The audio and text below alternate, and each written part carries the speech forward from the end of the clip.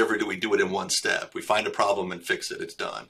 It's always iterations and iterations to finally six weeks later or five weeks later, whatever, to get it resolved. A little bit of experience was with uh, the agile software development, and I read a little. I've read, done some reading on that, and uh, you know how that was. It was kind of came about because of that constant change in software, which we have very similar constant change in construction, and so it led to the daily huddles and the check-ins and the sprints, and you know whether you do a one week, two week, three week sprint you know, I, I consider that like a, a, like a six week look ahead. You know, hey, here's yep. here's the chunk that we're that's right in front of us. How are we going to do it? You know, are we pull planning it?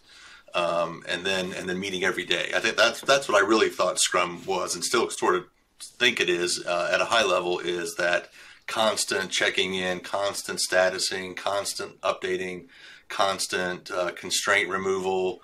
You know, being very um, uh, aggressive with the constraints. And I, I, think that's really a gold mine for a project to stay in flow, uh, to not get out of whack and get all hurry up and wait is to really the, to attack those constraints. So I know that's an element of it too, but uh, maybe that's my own narrow focused no. Uh, little piece of it. Dave, everything you said is 99.8% correct. Sweet. Yeah, the All only right. point too is that it's not constant statusing. Like as people do work and if they visualize their work with sticky notes or they use a digital solution, doesn't matter. The statusing is made visual so that it's simple and anyone can stand back and see the status at any given time 24/7.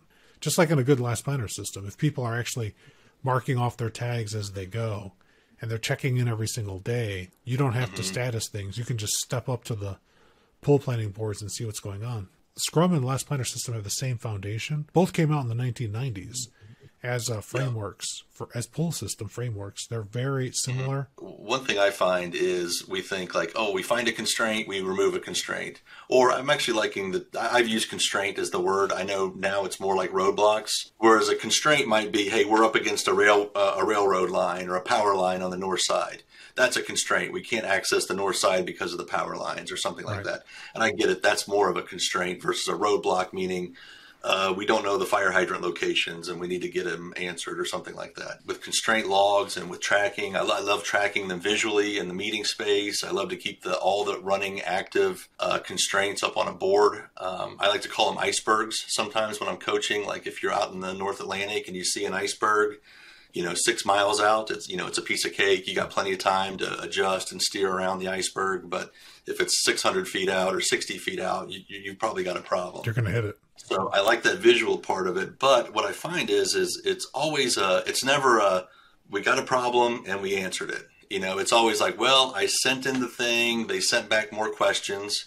Okay. Then I sent them some more stuff and then they want some samples and then we we did some things and and you know there's always this this series a series of things over a period of weeks before you actually wrestle the constraint to the ground so I, I you know I like to make sure that um, at, at, least in my last planner coaching that we're doing that we're we're we're keeping that keeping track of that and that's why I said constant statusing uh, yeah. if you will or uh, because we don't have um, you know boards or a lot of times or iPads or apps that show a progress bar or something like that it just says Okay, but it's a, it's a reminder to the team at least once a week, if not every day, where are we at? What did we do? Have we have we moved the ball forward? So it's how do we capture that and keep that live is what um, th- that's what I meant by uh, constant statusing. Dave, that is perfect. Fantastic. Welcome to the EBFC Show, the easier, better for construction podcast. I'm your host, Felipe Engineer Manriquez. This show is all about the business of construction. Today's episode is sponsored by Bosch RefinemySite is a cloud-based construction collaboration platform that applies lean principles to enable your entire team to plan, communicate, and execute in real time. It's the digital tool that works in tandem with your last planner system process and puts it all together in one simple, collaborative ecosystem system. This easy to use platform is available in English, German, Spanish, Portuguese, and French and can be used on desktops, tablets, and mobile devices.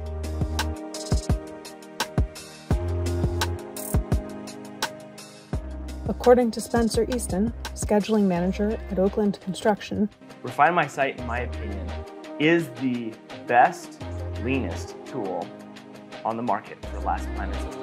Here's what our users have to say. We've looked at three other digital scheduling platforms, and none compare to the straightforward approach RefinemySite takes. From milestone planning all the way down to daily tasks, this program gives every general contractor and their trade partners meaningful collaboration, accountability, and KPIs.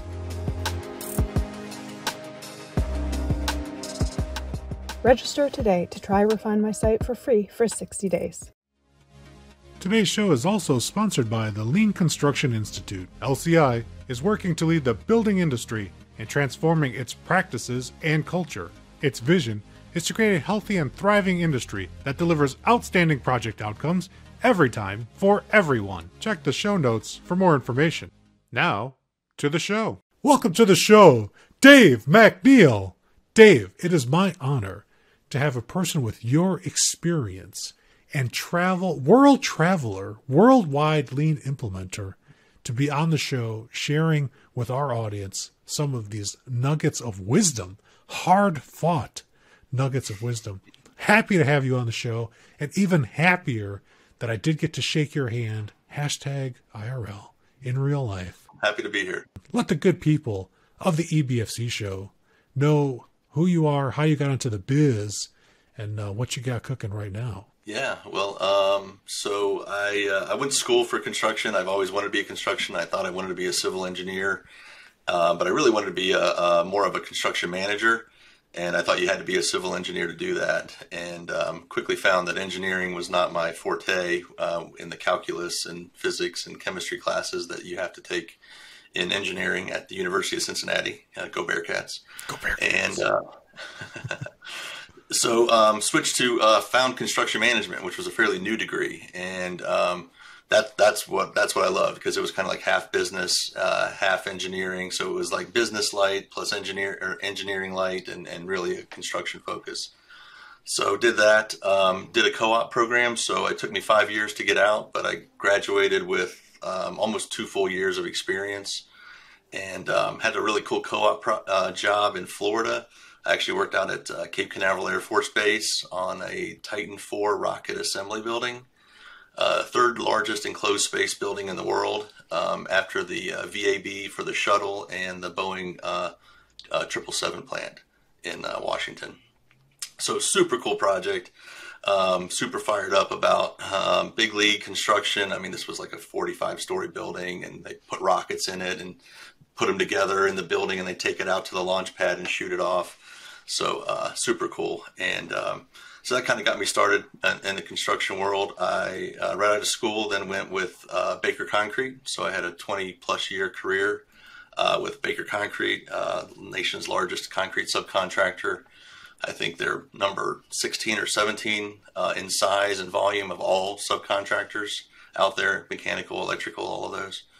So the um, um, that's where I found lean. So I, I spent about 15 years um, with Baker um, before finding lean, and it was always you know get it done, go as fast as you can, work as hard as you can, work nights and weekends if need be.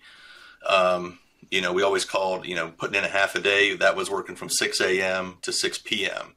It, it, working a half a day is what we called that. So um, it was uh, it was rewarding, uh, but it was also kind of stressful and um, coming coming around that 15 year mark, uh, my kids were younger, and there were some more demands on my time uh, for soccer games and ballet recitals and things. And um, it was about that time that I found Lean, and um, I think our president. Uh, Dan Baker had uh, was hearing about it in some of the circles he was running in, and this was in like 2005, 2006 and said, "Hey, we got to figure out what this lean stuff is. Um, it sounds like it's it's coming, and um, we want to we want to make sure that we we're able to service our customers, um, mainly our GC clients. That if they if they say, "Hey, you, can you guys do lean?" We want to be able to say yes. So I was tasked with going out and figure out what lean was, and uh, there wasn't much at all out there. There was some manufacturing stuff, but very little in construction. Um, finally did stumble across the uh, LCI, Lean Construction Institute, and attended a two day uh, seminar with uh, Cynthia Tsao, uh, Greg Howell, and Glenn Ballard uh, at the University of Cincinnati. So um, I uh, did you know for a while it was um, and Greg and Glenn and Cynthia but they're all academics and um, I had just finished my I got elected to be that the guinea pig because um, I had just finished my MBA at uh, Xavier University another Cincinnati school and they said well you're used to the kind of that stuff and um, you could take the academic uh, you know wallop and, and and see if it's for real or not so I did, and uh, it was tough. It was still tough. Um, have even having been in the academic world recently um, to get get my head around it. And then we did the airplane game. We did the the Lego airplane game, and that is when my light bulb went off, and I was like, "Oh man, this this could do it. This could be the thing." Um, prior to that, in about 2001, that's when I finished my MBA. So it was at spring of the, or winter of that year. We um, we did my final capstone course was around a book called The Goal by Eliyahu Goldratt, Theory of Constraints. Fantastic, fantastic. Herbie and the Boy Scouts and everything. And uh, so since 2001, I had been applying it somewhat to my own projects. So didn't know about lean, didn't hadn't heard about lean until more like 2006. So I had like five, four or five years of experimenting with theory of constraints kind of thinking, uh, even though it was all manufacturing and man, it was hard to really no no direct correlation to what we do. Um, but the principles were all there. So I started applying some of those on projects and started getting some really good results. We were able to go a little bit faster. We were safer. Um, our our product productivities were a little bit better. And then found uh, Last Planner and LCI in 2006, 2007. And we started implementing on a project. Um, we got some consultants to come in and teach us how to do it, and mainly Last Planner. And um, I didn't understand it all in the beginning. Um, all the different parts and pieces. Uh, PPC, I didn't, I couldn't get my head around that in the beginning. Um, but what I saw, what I saw was my foreman and superintendents getting together and really having these great conversations and really working stuff out and um, doing it before we, hit, you know, hit a hit a wall or, you know, run into an issue. So I was all for it. So it only took about two or three weeks of doing that to say, "Wow, this is really this is really awesome." and um, and then you know as time went on, did some more studying, realized some of those pieces that I kind of threw off the truck initially. I was like, "Ooh, looking back, like I shouldn't have done that. We really need to put these back on the truck."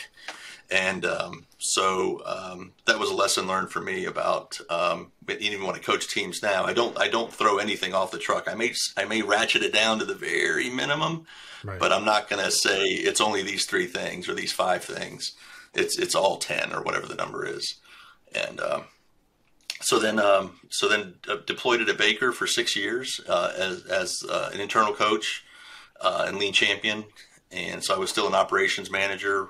Uh, so lean was kind of my uh, my nights and weekends and, and, and hobby, I guess you would say. The other half of your workday. The other half of my work. The other half, yeah, the, the other six to six. Yeah, yeah. and um, so then um, so did that. So then did it internally for for six years. did about 40 some projects 30 to 35 40 something like that projects that coached um, mainly in my region so i had some that i was directly in control of and those went way better than the ones where i was coaching teams that i was not in control of um, because when the teams that I was uh, I was and when I when I controlled the people's money and their raises and bonuses and reviews and everything went through me. When I said we're doing lean, they did it. When I went to another region where I was not the boss it didn't go over at all. So uh, that was kind of a lesson learned. Um, so anytime uh, I would go to these other regions, I would say, you know, hey, boss man of the region, this is your program. I'll be your coach. I'll be your person to help you, but you have to make this happen, and you have to do things to make this. And, and you have to not subvert it either. Right. don't don't do the things that can that can uh, put it into a tailspin.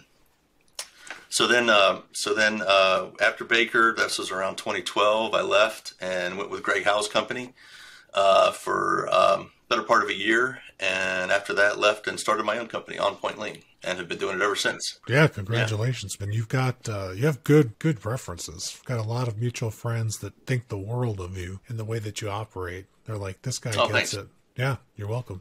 So yeah, anybody listening, if you can't tell from his rough and gruff descriptions, He's got uh, boots on the ground. He knows how to make it happen with real live teams. He's not academic, and he's not scared of academia either. There's nothing wrong with reading a good research paper and figuring out some good experiments to try. Like a lot of people do get caught up on PPC. Like uh, Jesse Hernandez and I did an entire hour just beating PPC to death uh, on our review of the Lean Builder book. So there was like a lot of good times. I suggest you uh, check out the Learns and Missteps podcast where we did that in an episode.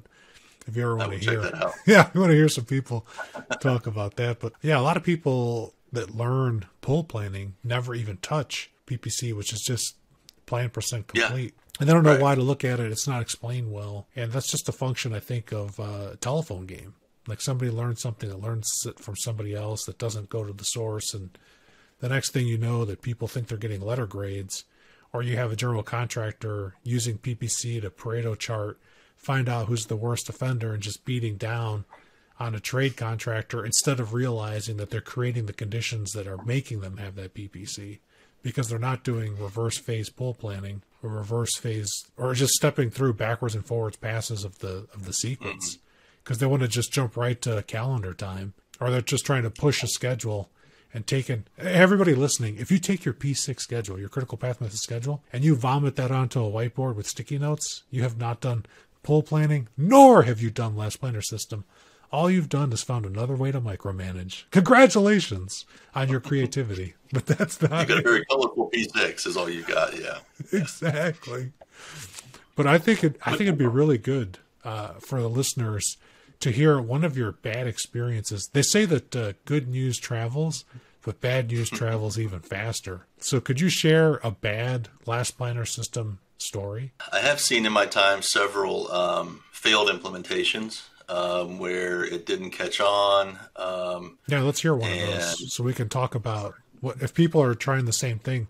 We could give them some nuggets so they can avoid, abort, or adapt? Yeah, it's it's really around. It really circles back to leadership. You know, they, you know, say it always starts at the top, and and that is it's so true uh, with lean and anything else, safety, uh, anything, any other um, thing you're trying to improve.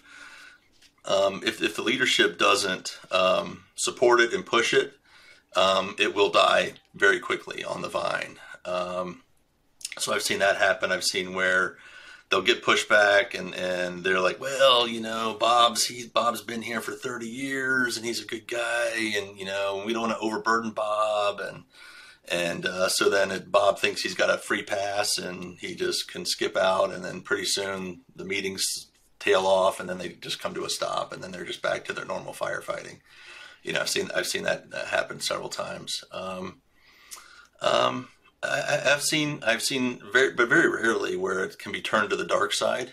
that was what I call it. I'm, I'm, a huge Star Wars fan. You know, I you know grew up in the '70s with, with Star Wars. I think I saw the first one like nine times in the theater or something. But you can you can turn um, lean to the dark side. Um, I've had um, GCs send uh, put people on notice for PPC and things like that, and I'm like, oh god, wow. why are you doing that? Don't do that. Um, so, or or just use it as a as a bat. You know, I tell them, you know, you go in, you do a pull plan, you give people information. Sometimes you'll see a GC take over and start moving the sticky notes and saying, okay, you're doing this, then this, then this, then this. And you know, people just kind of shrug their shoulders, and and then they come back at you afterwards with like a, a bat made out of sticky notes. Uh, oh, no, you said, you said, you said, and like, well, no, there's this thing at the bottom where it said, I need this I need the tower crane for two hours a day, or I need this out of my way, or if you can get this approval by this time. And they forget about all that. Like, no, no, no, no, you said you'd be done November 1st or whatever. And it's like, well, yeah, but you got to read the whole thing. Right. So those are some of the negatives that I've seen and some of the, the twisting that I've seen it. So it's usually the leadership and or um, being misapplied, I guess you would say, the misapplication of it the two biggies. I'd, I'd classify those definitely as leadership. And if we don't, uh, even as a leader, like you have to get at least half a step ahead of the people or you want to follow you. So if you're a leader, listen to Dave's examples here. If you're trying to use the traditional push scheduling methods that you you pass out your 75 page 6 week look ahead to a bunch of people and you just hammer people on dates on like on finish dates and you forget all that predecessor activity that you didn't clear out, that you didn't make ready for them, you don't have any authority to hammer people for not making it because you've done zero to give them what you promised them, which is an area to work and do productive work. I, I like that. Absolutely. I love that, Dave. You, you, you're bringing, I don't love that that happens, but I love that it's consistently something that crashes people. That's definitely a good example. And I think, uh, you know, just to unpack the PPC a little bit, the plan percent complete, as people finish, for those of you that have never seen Last Planner in real life, as people finish every day work that they committed to, they typically draw a line through the tag, and then the superintendent comes behind them and draws another line, creating an X. And we see the same thing in design as well. And if you're using a digital solution, there's a way to mark that this activity is complete, and that will automatically count PPC. I've heard people say that they don't know how to calculate PPC. So just hmm. for everybody, like if I had 10 tags planned for today, Dave and I are working, and and he does five, and I do four, and we've xed off, and the superintendent agrees. You know, Stacy, the superintendent, says yes. Dave and Felipe, you did do these tags, and I can't finish one. There's one uncrossed off tag. It's just nine divided by ten times a hundred, or ninety percent. Which Glenn Ballard and Greg would say we were we were sand sandbagging if we had ninety percent PPC. yeah, I like those kind of the rules of you know if you're uh, and and and I've seen this with PPC is if you're if you're in the mid 70 low 70s to mid 70s say 70 to 75 you're probably um, on track schedule wise and you're probably right on with your labor hours uh, your efficiencies um, once you get above that then you start to gain you start to we're, we're gaining time on the schedule if we're in the high 70s or low 80s uh, or upper 80s, we're probably gaining on schedule and we're probably banking labor hours as well. We're probably doing it for less than what we originally planned to. And, and then I say, um, you know, if you're steadily in the uh, good teams, you know, you'll you'll be high 80s, low 90s. But if you're constantly in the mid mid 90s and above, you're you're probably just lying. You're probably gaming the system or fooling yourself. Um, and I had one team in my, and I probably, I probably, t- I've counted, I've, pro- I've touched over 400 different project teams, uh, probably closer to 500 now. Um, I've had one team that actually was running in the mid to upper 90s, 96, 95, 94, 92, 97, 94, you know, week after week. And I'm like, okay, guys, this, what, what are you doing? And um, it was a, uh, a high rise uh, bed tower in Vegas. And the, these, this team was really dialed in to takt, even though they didn't know what takt was. They never heard of takt, um, but they were on a cycle. They were cycle time, cycle time, cycle yeah. time. And um, I said, "Man, you guys are good." And and they said, "Yeah, if the people are, in, you know, the subs, if they're supposed to be out of an area and they're not, we throw their stuff off the building." And you only have to do that one time. You only have to do that one time, and they get they they understand cycle time or takt uh, very quickly. And uh, I don't know that they ever actually did that, but maybe back in the old days they did. I don't think they currently did it, but oh. but they got on they got on a flow, man, and they and they understand the value of money and time uh, when you're talking about casinos and making millions millions of dollars a day. They don't they don't mess around. So that was one team that ran in the high 90s and did it, and and um, without and without gaming it or anything like that. It can be done. PPC. Absolutely. Oh yeah, absolutely and you'll have you'll have weeks when you get a hundred. Hey, hey, we got all ten things done. Hey, great, you know. But that's it's not typical that you you get that all day every day for sure. Yeah. It's it's still construction. We still have variation quite a bit. As people are setting up their last planner system, Dave, and right. the closer the closer they can build it when they're doing their phase pull plan to being like a takt plan or a cycle where they can see some repetition and and they size the area and the handoff small enough that you can see real good progress and handoffs from one trade to another in areas, mm-hmm. the more likely you'll see PPC numbers 80% and higher consistently week over week. Yeah. Yeah, definitely breaking it down to smaller areas. Yeah, that was one of the big things from from Janosch um, that I learned was you know you know don't you know for new construction obviously it changes when you get into renovation and other types of work, but uh, for new construction your your your batch size or your takt areas uh, need to be about 2,000 square meters or 8,000 square feet. That's about as big as you want them to be. And and actually too, I'd like to learn a little bit more from you about Scrum. I saw you have a new book out, yeah. and um, I really so I've been uh, I've been in the in the lean world. There we go, construction Scrum. I saw nice. So I just got uh, Jason Schroeder's uh, books on uh, takt and some other things Yeah. and wanted to check into that. I've got some um, experience with takt and Janosch uh, from BMW uh, did a plant with him in Mexico for BMW in like 2015. So I got kind of baptized into it there, but um, looks like Jason's kind of taking it to a whole new level, which is kind of cool. And really want to find out what the Scrum is about. What uh, I mean, I, I sort of know enough to be dangerous about it, and I know that's kind of your your thing. And uh, so I was hoping you could be a, a long convert a long time lean person that probably thinks they already do Scrum. Uh, and I, and, I, and I do. Uh, I think they, deep down, if you said, "Do you already do that?" I would say that I do, but I'm probably confident um, in that we don't. I don't do it as well as uh, I probably could or get the most out of it. So I'd like to Well, look, I learned. with you about that too.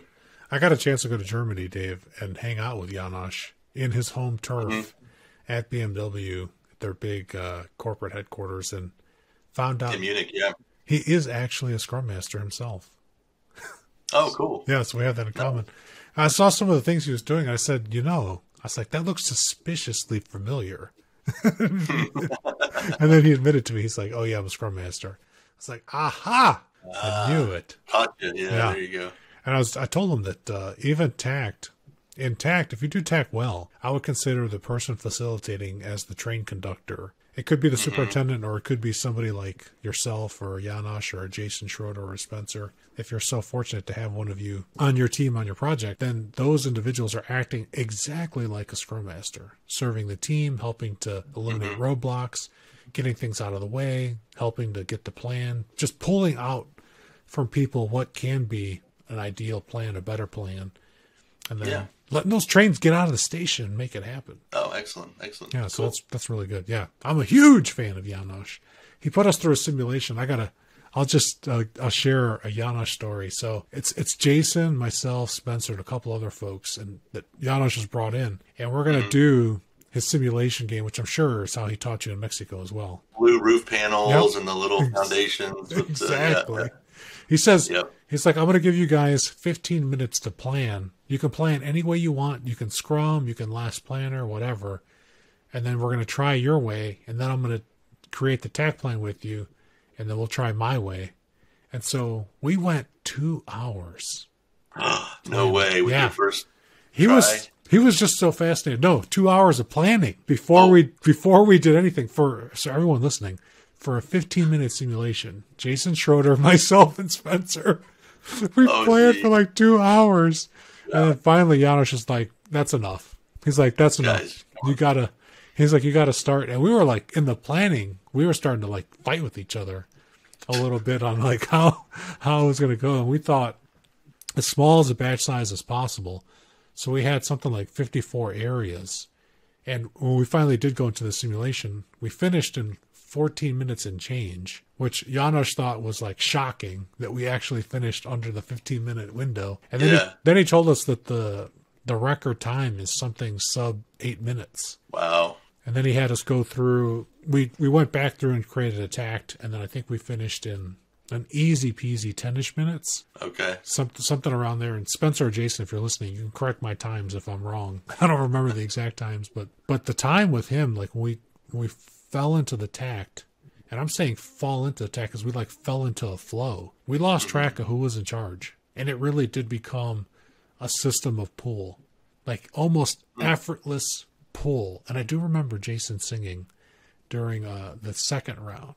There were no stern, all the stern voices and the harsh conversations were gone from the first round. All was forgiven. And running, running intact was just so smooth and so much fun.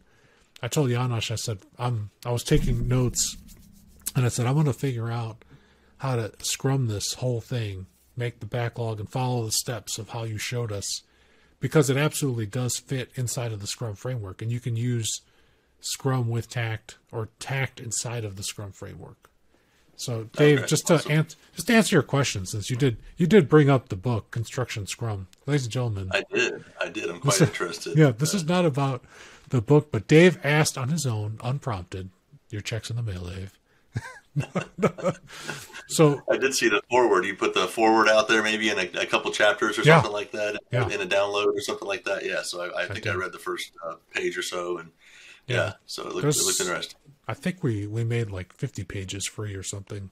It's quite Mm-hmm. quite a big chunk of the book is available for free at uh, constructionscrum.com. But in a nutshell, Dave, Scrum is a framework built on lean foundations, so it absolutely honors all the work done. Uh, companies like Toyota and uh, William Edwards Deming and others, but those are just some of my favorites. Those are some of my favorites. I'm biased. Where can you pull this in? Like if I'm already mid-flight on a job, could I start doing? If I'm listening now and I'm already on a project, could I start Scrum now, even though it's not day one? Yes, you can. If I'm about to implement Takt, could I start doing Scrum? Yes, you can. Also, in Jason's uh, book, his new Takt book, a dish second edition, there's a chapter on Scrum. My contribution. You're welcome. So when you read about Oh. Scrum and the Takt, uh, that was adapted uh, from a chapter in my book for that Scrum or for that Takt example. I think I'm on page five with this beautiful face as a contributor. As is Janosch. Yeah, Janosch Delker is also a contributor. He's, And- he's shown me mathematically a hundred ways why that's true, and it, it seems to work out. It really does. So if, you, if you've got smaller batches and you're breaking that into those one week chunks, um, whether it's a three weeks of three weeks of duct work or five weeks of electrical work, that's fine. But you can break it into those those chunks and and make sure you're delivering on those. And then after week one, you're one fifth of the way done, and after week two, you're two fifths of the way done. Yeah, so that's that's where I think um, we were doing a lot of takt type stuff before you know it really became this big push in the industry, but not to the level I think that uh, Jason Schroeder and, and Janosch have taken it to. Yeah, absolutely. And and they've now with even with Marco's help, they've brought in these three different parametrics so that you can because Jason was saying like early in his early implementations of Takt, just taking things to the ten thousand square foot level was incredibly beneficial for making good flow. And now with the parametrics, you can mathematically see if in a range, plus or minus, should you break it down smaller based on the types of work and how you've done the package and you can gain even more throughput, give the trades even more time. It's like counterintuitive. It's like, what? I can give the trades more time, change that geographic area, and that radically increases the throughput time, which puts more work in place with less effort, with more consistent crews, way higher quality. So there's there's a little bit of math involved, but on Jason's website, Elevating Constructionist, uh, he's got a new takt template that includes the parametrics on there so you can run simulations in Excel and very quickly figure out should we be at a 10,000 square foot area at 8,000? Should we go smaller? What happens if we go bigger? And then you can just pick and then still work with your trades to develop that very tightly coordinated takt plan. I've been through his training. That's the only reason I know it. Like I'm talking like I know what I'm talking about because Yeah, I've been trained. good stuff. Yeah. It is good stuff, and it's out there for free. So so check that out for sure. Dave, what what do you see from your perspective? You've been touched almost 500 projects. What is the role of a consultant like yourself to help a team implement some of these methods, like Last Planner System? Um, I think there, there, I think there's a lot of different roles for the consultant. Obviously, there's that leadership role that you need from the top brass of the company that really has to support it and want it and and make it known that they want it and um, and, and really drive in it. So the consultant then um, really becomes the um, and when I when I deliver boot camps and stuff to kick off projects, I, I tell folks that they're they're half half education. You know, what is this thing and what are we doing, and half inspiration. You know, making them want to do it, making them see the value, what's in it for them, um, and the benefits and, the, and that kind of thing. So half inspiration, half education, I think is, is overall in general the, the consultant's role. Um, but then it's it's it's like it's it's, it's like coaches, you know. Uh, you know, uh, all the greats have. You know, Michael Jordan has a coach. Uh, LeBron James has a coach. Tiger Woods. You know, you just name all these great athletes and I think that it, it, can accelerate your adoption. I think you can do lean without a coach. Um, I, I, think you'll, uh, but you can also go water, whitewater rafting on level five rapids in West Virginia without a guide. You absolutely can get a boat and you can get a paddle and you can go do it. Uh, it might not be nearly as fun uh, without a guide that's been down through there and knows where the rocks and the swirls and the other things are.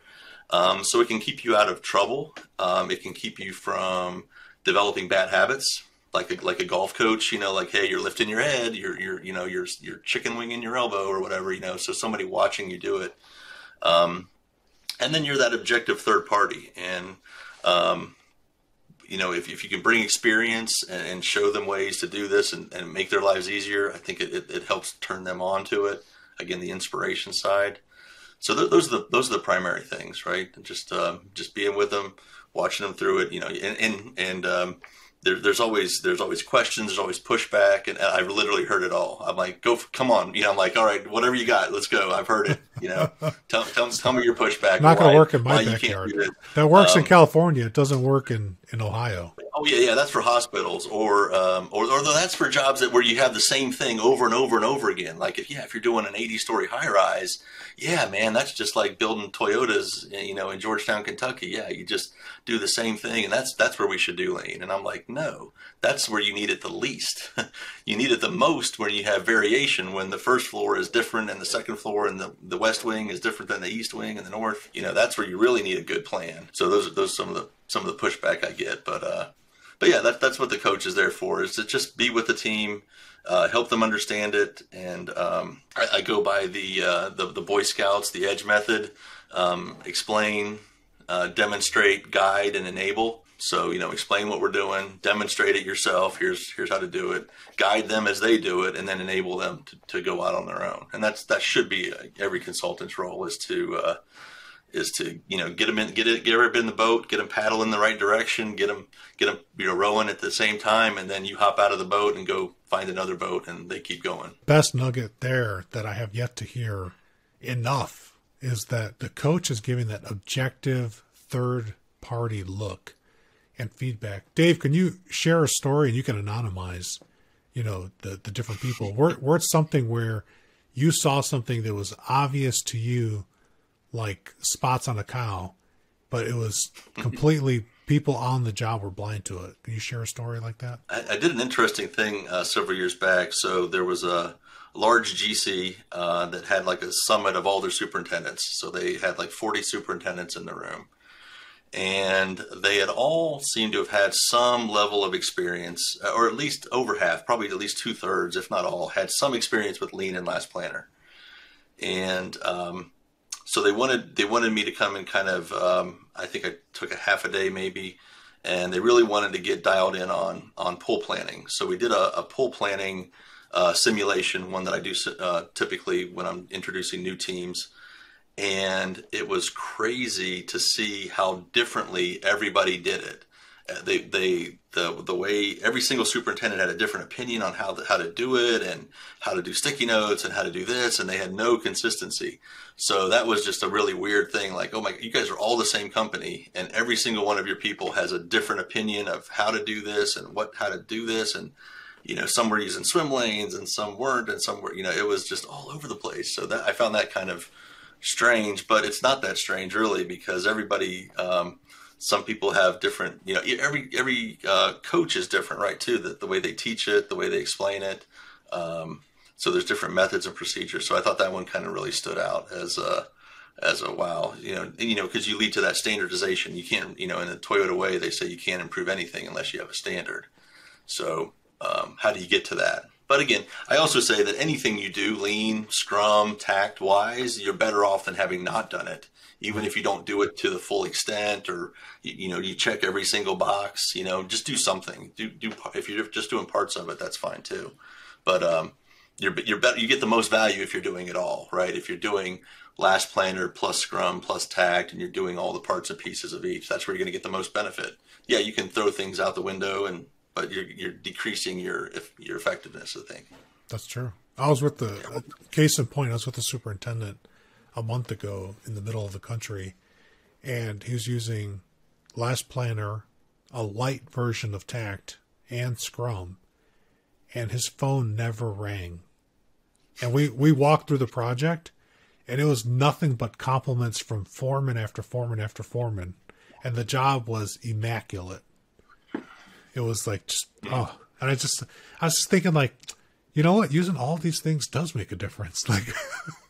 It, really does. I yeah. asked him, I was like, is your phone battery charged? Like, show me your phone.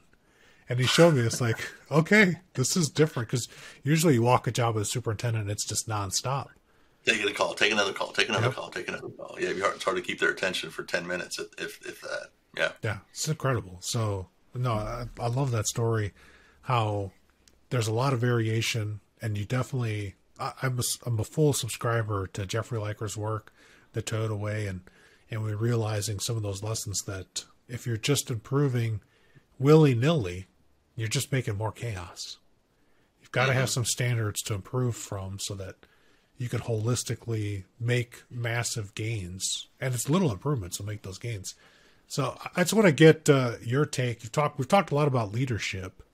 What is the mm-hmm. difference, or what role does the field personnel, the project front facing people play versus management in your experiences with either lean or last planner system? So, in, involving the craft, um, and um, you know, through the foreman and their leadership, um, down from the superintendents and their overall guidance, um, you know, you can really get some great um, input and ideas and feedback. Um, so we started uh, at, at, Baker. We did a we called them just like a regular SQP, safety, quality, productivity uh, kind of chat, if you will. And we would take uh, different folks off of different crews. We would take a rod buster and somebody off the column crew and somebody off the deck stripping crew and you know a carpenter off the foundation crew. Get them together, um, buy some pizza or whatever for for lunch, and sit down and just talk about what's what's happening, what's going on. Um, you know what what kind of things are they seeing? What's what's going well, what what can we work on, and just having those open, honest discussions really surfaced a ton of um, uh, things that we didn't even think about, right? Uh, as far as for, for productivity, for safety, for quality. So we didn't limit it to just productivity, which you think of for lean. We, we, we threw in quality, we threw in threw in safety, and um, just by going out and, and getting it, I, I learned that you know, um, I see I see so often um, sometimes on projects I see a suggestion box outside the, the trailer, and I just want to go. Don't don't do that. Don't put up suggestion boxes. They never work. You just saw Dave put a fictitious gun to his head and blow his brains out. for for those listening, like, so that's doing? what that sound don't, effect was. Yeah, don't do that. yeah. Um, because you're not going to get anything. Um, you know, and I, I use the story like, hey, the last time you were out at a breakfast restaurant and you know something was not right you know your eggs were a little cold or you know you didn't get a coffee refill did you actually stop and you know use that comment card at the bob evans and, and put it in there? Um, probably not. You didn't. Oh. but you know but i always say but if the manager came by and said hey felipe we're really working on our, our quality and our performance at this bob evans and we want we're really proud of it. We want to know if there's anything that you experienced that wasn't that you would say could be an improvement uh, for us and our chefs or our, our servers you know we, we, we want to hear it you'd probably tell them. You'd probably be like, "Yeah, hey, uh, sure, yeah, my uh, my my coffee didn't get refilled, as you know, and um, my eggs were a little runny or something like that." You know, you would give it up. But I think as leaders, you got to go get it. You got to go get those improvement ideas. You got to go get those suggestions. Um, I'm always baff. I'm always blown away when I read the uh, reread the Toyota Way and see that they get eighty thousand improvement suggestions a year uh, at one plant and um, I think I even have the the book about um, their uh, suggestions, Toyota's suggestion system, and how it says. I think it was like twenty year, or 40, 40 years and twenty million suggestions is the one of the is the subtitle in the book. But they go get it. They ask for it. They train it. They they have focus groups. They they they they they do that. So back to the craft. Back to your question. So the craft really is the front line. They're the ones seeing it. They're the ones who have the heartache. They're the ones who have things that bug them, you know, like Paul Akers, you know, fix what bugs you. So we just bring them in and say, what's bugging you? And you'll, you'll, they'll say, you know, hey, we're, you know, we're, we're, we're destroying the formwork because the carpenters are putting way too many nails in, or, or sometimes they'll even use screws. And, and, we, and then we, we put in a thing like, okay, how many nails should we be putting in? You know, it only needs eight in this, in this, in this run. You don't need to put in 25 nails.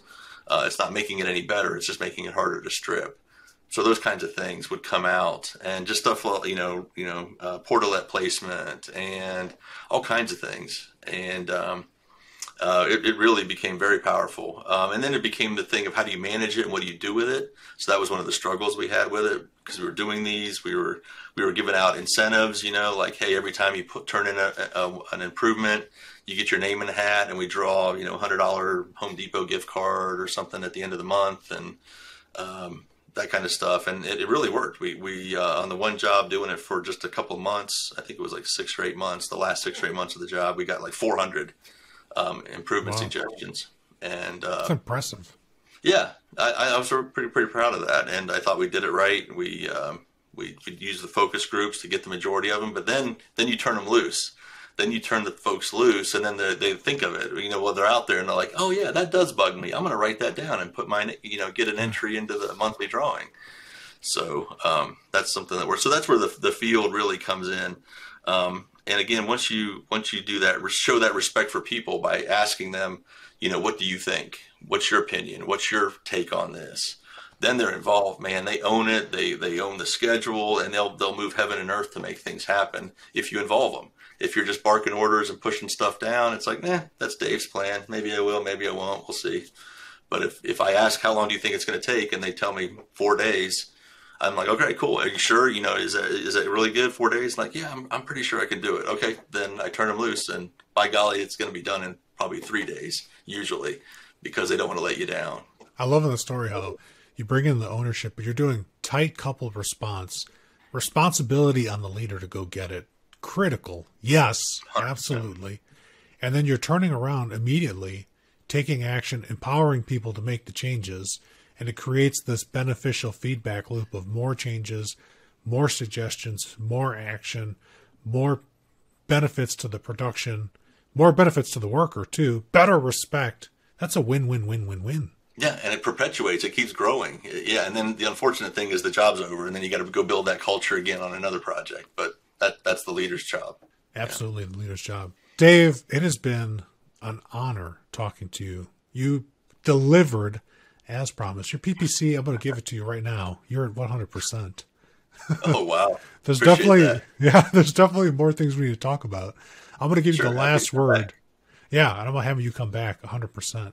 You get the last word, and then we're going to call this. We're going to call this one. We're going to shift this to the done column. Ten four. Oh well, I'll just close close uh, out by saying, um, I mean, thank you, Felipe, for what you're doing, um, for bringing this out into the world. I think it's been sorely lacking, and and um, I know it was lacking definitely for me when I started, uh, however many years ago. And I think this is this is a great resource for folks to um, you know learn and learn from others and stuff like that too. If they don't have the option of uh, you know intermingling at LCI and other places like that, where you do get that great um, that great coming, the gathering of minds and, and, sharing of information and things. So I think we definitely need more of these. I think we need more, you know, podcasts and, and blogs and things like that, that, that give people the tools and resources. I think, you know, things like the lean builder and, and, uh, you know, the, uh, tacting and stuff that, that, that Janosch is doing and elevate, you know, what Jason's doing. I think that's all been, uh, been really cool to see, uh, see it come, see it grow. Because I, I, know when I was out there, it was it was a desert and there was nothing. And now now uh, now I look across the desert and I see Las Vegas, I see Felipe, and I see Jason, and I see all these people in construction. So so kudos to you for doing what you're doing. It has been so much fun. Can't wait to have you back on very soon. Very special thanks to my guest. I'm Felipe Engineer Manriquez.